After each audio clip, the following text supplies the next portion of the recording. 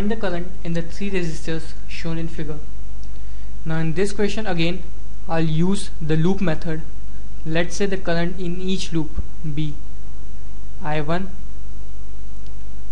I2 and I3 in the direction so shown. So we have the current in each of the resistor in the direction as shown.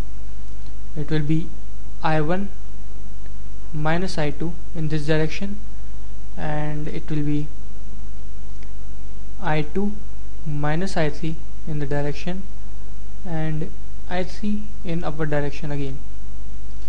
So let's name each of the point. 1 2 3 4 5 6 7 and 8 now here applying the Kirchhoff law in the loop.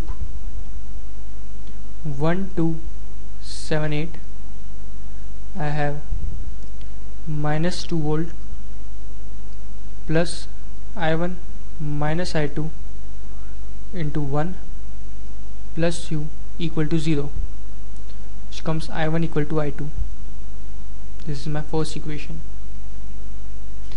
In loop 1 3 6 8 I am again applying the Kirchhoff law. So I have minus 2 minus 2 plus I2 minus I3 into 1 plus 2 plus 2 equal to 0 so I get I2 equal to I3 this is my second equation. So I have I1 equal to I2 equal to I3 now applying the Kirchhoff law